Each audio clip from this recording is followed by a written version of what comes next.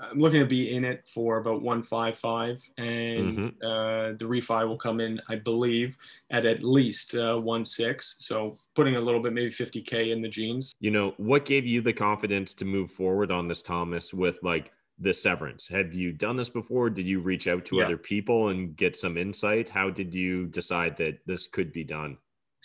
long story short, I fell flat on my face, um, but learned everything about it and knew what I needed. Um, luckily, it didn't cost much, just a whole bunch of time.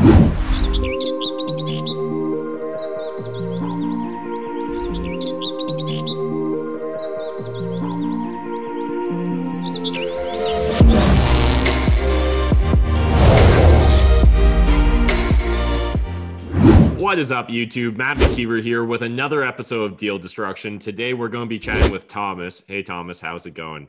Good. How you doing, Matt? Good. And so Thomas has got a property that he recently just uh, closed on in Guelph. It's going to actually be a bit of a severance play and a refinance play. So excited to jump into it. And he's actually got some before and after photos as well. So yeah, Thomas, before we maybe jump into this project specifically, do you mind just giving us some context towards your real estate experience so far? Yeah, absolutely. So I bought probably my first property was 2012 uh, student rental standard. Uh, it was a six bedroom house. Uh, so it had tenants in place. Uh, they were getting 2,400. And uh, when they left, I, I, bumped it up to 2,800. That was the first, uh, that was the first student rental I had. And that was downtown Guelph. Um, then since then, I picked up a, a couple other properties. Uh, since then, about four, and uh, did a, a, fair amount of duplexing, just uh, cutting them in half, putting basement apartments in legally with the city, and um, that's pretty much it. Student rentals is what I is I, what I try to focus on. This is going to be the biggest of uh, any of my projects. So. All right. And so, what's the long term goal with real estate investing? Just, I'm assuming with student rentals, cash flows a part of the puzzle piece. Yeah, exactly. Um, uh, yeah, cash uh, cash flow, of course, is what I guess dictates any of my purchases. It needs to be able to cash flow on day one, um, and like you and all your audience know, that's the most important thing. Um, and uh, of course, building up at least enough uh, of monthly income so that I don't need to be working the nine to five, as uh, all the fire people know. Awesome. All right. So this sounds kind of like an interesting deal. So how did you come across it? Was it on the market, private?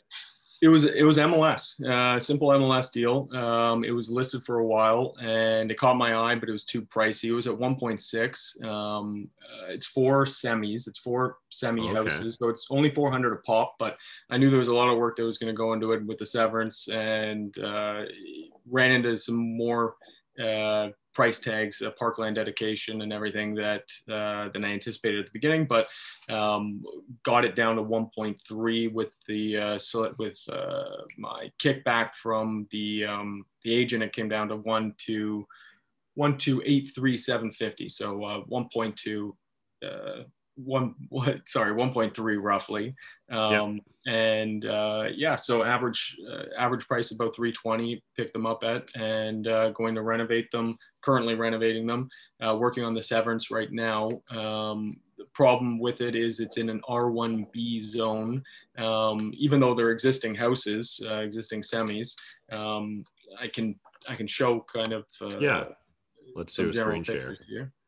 and so are these like you know, three beds upstairs, a bed in the basement, sort of thing, or what are we Precisely. looking at? Okay, yep, yeah, exactly. Um, yeah, probably best if I.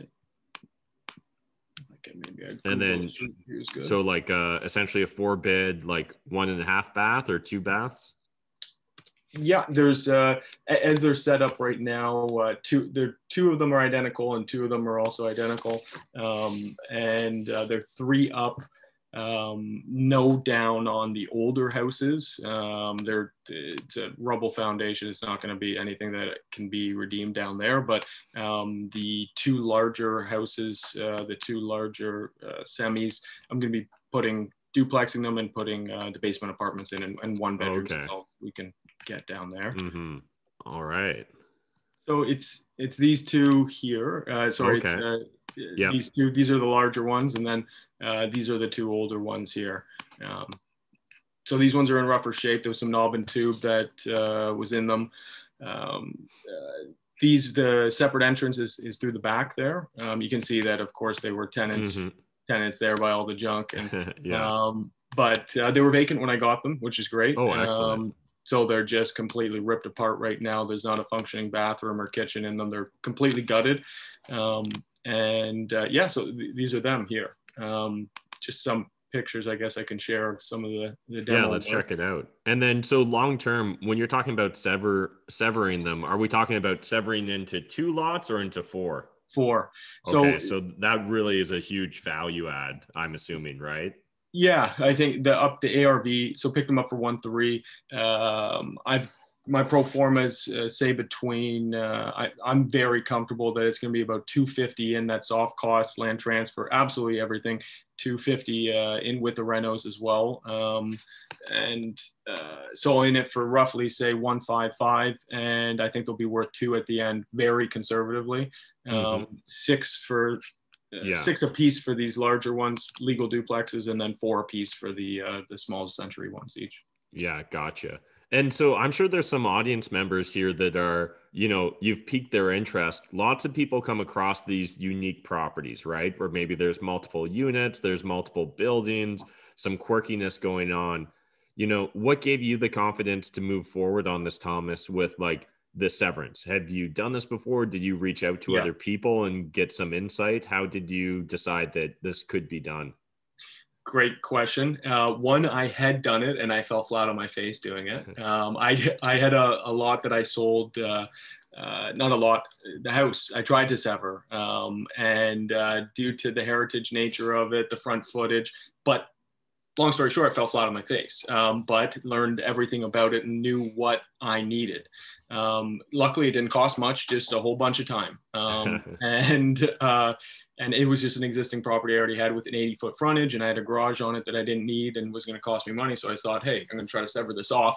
Um, it was not successful because of the block face of the uh, the average block face uh, was too large for the uh, the whole street had very large frontages, mm. and they didn't say it would uh, it would conform with the neighborhood. But uh, also, but this one, uh, additionally, what gave me a lot more confidence is before I went firm, I spoke with the city at great lengths with those contacts uh, that I'd made from uh, previous. And yeah, yeah, and, uh, they were a helpful resource, uh, which was, I guess, not expected, but they were actually able to put their neck out a fair amount and, and say that this was more or less a technical uh, severance in nature just because it's a merged pin right now.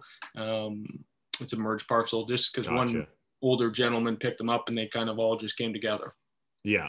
And just for anyone at home that's maybe, you know, you've never heard this term merged pin before, if you end up owning two properties that are side by side that are technically on separate legal lots, if it's literally the exact same legal owner, those titles will eventually merge. And that really can impact the valuation of the property because part of the reason Thomas was able to pick up this property so cheap is the fact that it's a much bigger purchase price 1.6 million or 1.3 million for this property versus being able to buy them piecemeal.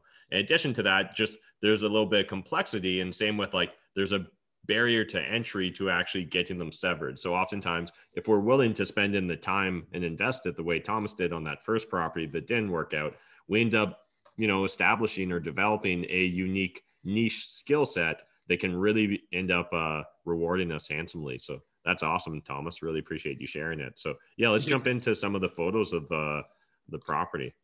Yeah. So I I just uh, this I think might be easiest to see some of them. So actually another interesting thing, part of the negotiation, I'll just tell your group really quick mm-hmm. about is if you can see here on, on my screen, you can see that the, the frontage was advertised as 166, 88. Uh, yeah. 166. So I did my research as well and knew it was 132. So I knew that they were misrepresenting it mm. here. And I, I I wrote a letter actually to uh, the vendor, and amongst other things, uh, before the conversation was, "Hey, I'm, I'm not going to try to beat you up and be a, a, bad guy about this, but we're like we're very different on what mm-hmm. we we know what the size is here." And uh, we actually, I came to a standstill with the um, uh, with the vendor, and I just needed a price reduction. And and what I did is I wrote him a letter, just more or less pitching about how, because uh, I, I, write uh, the APS was in a numbered company, and I was worried that he'd think I was some big guy, yeah. like bullying him around, and uh, you know what I mean. And um, so I wanted to make him the pitch, say, hey, I'm a young guy, but this is much as much as I can pay. Um, uh, I'm not, I don't want to beat up your properties, but there's going to be a fair amount of work here. Um, but yeah, that's just one of one of the small things that helped me get a little bit of a leg up. Mm-hmm. Um, Appreciate you sharing that. It's an aerial. Okay, yeah, yeah, that's a very useful angle, just to get the feel for the lay of the land. Yeah, great lots. Uh, they're as. And so, did the seller already have in mind selling it vacant, or was that something you negotiated? No, they were vacant. They were, uh, and of course, there was only 400k he had as a mortgage, so uh, it wasn't really costing them anything to sit there, but uh, but they were empty. So the, the condition of one of the units, which is of course all that the listing photos will show, sure. is, is, pretty. This one's pretty good. This was yeah right. Um, uh, apologies. And so, was this gentleman just retiring? Was he just getting out of the game? Is that? Yeah, um, I think he was quite a bit older, uh, like maybe uh, maybe just wanted to get rid of uh, everything. I think he was maybe moving into a nursing home. I, I don't have gotcha. perfect line of sight, but I think because towards the end of the deal, he had someone else signing on his behalf. So, um, so gotcha. this th- this picture here is in that uh, is on one of the houses on the right hand side here, and you can see the kitchen. What I've done is I've run a wall here, and I, I can show it another picture that I've taken recently here um, I've run a wall and put a door, and this is going to be where the separation is for um, uh, for the secondary unit. Mm. I can show that in a moment, but th this is the way it, the properties were. So three bedrooms up. Um, yep. Just want to get some pictures of the older houses. So they they're two bedrooms on the main floor, high ceilings, and then uh, a loft space. Gotcha but no overhead light. Classic older house had to yeah. run all new wires, so um, that's kind of a, a pricey ticket. Mm-hmm. Although nice, the fact that at least unfinished, unusable basement means you can run your wires a lot more freer than if it was finished. Absolutely, great access. Yep, exactly. And you can make a mess down there. But yeah. I, I, unfortunately, I, I did have to do some waterproofing. That's another attribute that definitely spooks some people off. There was there was standing water in the basement when I picked them up. Mm. Um, so th- these are the kitchens, really hard to work with. They're tiny little guys. Yeah. Um, but these are gutted back. Uh, this is where we are right now with that. So once I got it back, it was quite wet. This is the sure. size of this. So yeah, just ripped it back as much as uh, I could. And um, this is actually the, the exact unit you're looking at. Uh, gotcha. Yep. Yeah, I can see exactly. I got a great price on on kitchens. Um, to any of your users, I haven't had them installed yet, but um, if if so, it's I could provide the link and and down below. I was able to pick up this kitchen, uh, quartz countertops, uh, solid maple uh, for four thousand flat before HST. Um, uh, got the four kitchens all together, the two larger houses, the two smaller houses for 18,000, 18,008. That's awesome pretty yeah pretty decent with the countertops and installed and everything. Mm-hmm. And then this is the this is the upper room. Um, so what yeah, I did kind of classic hip wall. Yep, exactly. So what I did here is com- got some great guys to demo it right to the studs, and um, uh, and I have gutted back, um, mm-hmm. and what I had is the those upper rafters. Shoot, lost the picture. But the upper rafters uh, raised up four inches. So just one by one took them out and uh, got a little bit more ceiling height. Okay. Those four inches will make a real difference. Yeah. Yeah. Yeah.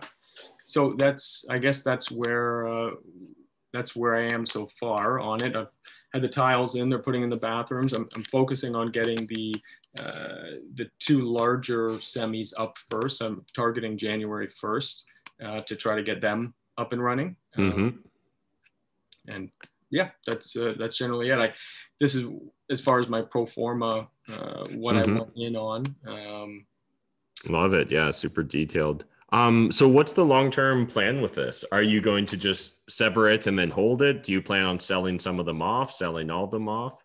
Uh, hold them all. Um, yeah. I, I, want to. The financing, of course, is precarious on on this. So it's uh, my plan, at least, is to do the zoning.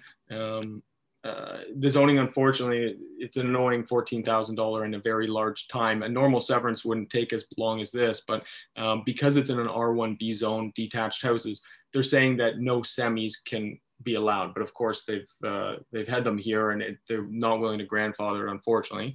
Uh, so first, I have to get the zoning, then I get the severance, and then mm. I can mm. do the work in the basements to put the two basement apartments. Um, and uh, so that's I guess once that's all done, then I can do the refi. Um, it's going to be I think you'd call it a, a full BRRRR or a, yep. a, complete BRRRR. Like a perfect BRRRR, yeah, where you, yeah. you should be able to get all your money out. Yep. Yep. Yeah, makes sense.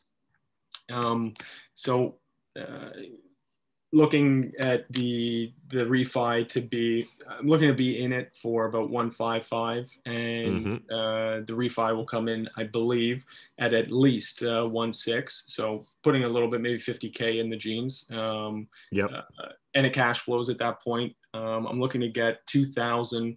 Uh, this is super conservative, but 2,000 per upper unit for all four of them. So a total mm-hmm. eight there, uh, 1200 for the basements. Um, they've got nice, uh, great lighting down there too. I, I, think I'm being extremely conservative on all, all those numbers. So at least just a, around 10, four.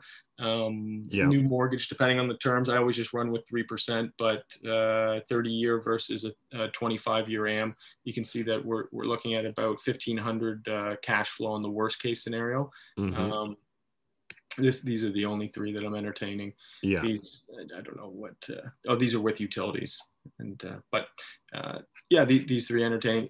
I think it's going to fall probably between these two here at probably maybe 1800 positive cash um, on the back end and all the money out and hopefully move to the next. Awesome, man. Yeah, seems like a great deal. And definitely after going through this process, you're going to have a great uh, niche skill set that you'll be able to rinse and repeat on any other future uh, um, you know, semis that could be severed. Yeah. Um, it's hard though on, on MLS. I, I see all the great private deals uh, mm-hmm. that you guys uh, shoot out, which is, is great. But yeah, on MLS, it's hard to find something that there's enough meat on that you can do, spend a bunch of money and wait a bunch of time in order to make it work. Yeah, absolutely. I think in these hot markets, you know, the only real opportunities on the MLS are either wildly inaccurately advertised properties or unique properties. And oftentimes they go hand in hand. Um, so you know in this case it seems like the property was relatively advertised correctly right? Um, they were off a bit with their lot size but that probably wasn't actually much of a deal breaker for most people. But the unusual nature probably was just hard. You know you're not going to get your average buyer looking to compete with you on a property like that. So that's awesome yeah, yeah, no doubt. And all these are all going to be just gutting photos for the most part. Um, but you can see they're yeah, been, just old lath plaster in places and all that stuff. Yeah, exactly. Mm-hmm. Excellent, Thomas. Well, yeah, I definitely think that this is a great deal. And I love the fact that you found it on the MLS. I think that that serves as a great example for anyone that's, um, you know, struggling with this idea that there's no deals out there because the market's too hot. There definitely is always still an opportunity. It just really comes down to knowing our numbers, being dialed into the process. So, um, are you? It seems like you're taking decent amount of photos and documentation behind this property. So, I guess that was one tip I was going to bring up. Um, depending upon how this conversation went, was I think this is a wonderful deal to really document and use as kind of your portfolio piece, right? Where if and when you start deciding to attract other money partners, um, you know, a deal like this is just going to line up in perfection. And in fact, for myself, back in 2016, when I really started scaling my real estate portfolio, I essentially did a uh, bought like a really rough around the edges 20 unit um, portfolio off of an old landlord, and we converted it, and essentially we're able to do more than a perfect BRRRR, so get more than um, our initial capital out. And from that, I was then able to really just use that as a portfolio piece and leverage so much credibility and so much more money having gone through and been like oh yeah i bought a 20 unit apartment building you know for x amount we refinanced it and then after refi we walked away with six figures in cash and you know it's very easy to get people's ears perked when they of hear course. like wait you got a free property that cash flows plus yep you know you walked away with extra money so yeah i love it thomas i guess any did you have any specific questions for me or anything that we should make sure we discuss on this call? Um, the, the question for you, I guess, I've never done a BRRRR so marinating time. Do you think? Um... I don't think you're going to have any issues with a property like this because of the severances. So I think that um, any appraiser and any bank is going to treat it as a completely new property. So I don't think you're going to have any issues. And again, it sounds like it's a great situation to be in where um, if there's not a lot of semi-detached properties in that neighborhood, I'm going to guess that your average prices are going to be very robust, right? So even yeah. if you end up getting at the very bottom of the spectrum in pricing, you're probably still going to be very safe there from a valuation standpoint. So, you know, in more traditional BRRRRs, um, it's not uncommon to get some resistance from bank employees or lenders if it's less than six months or a year. Again, usually there are ways to navigate that, but it is going to take a more deft hand.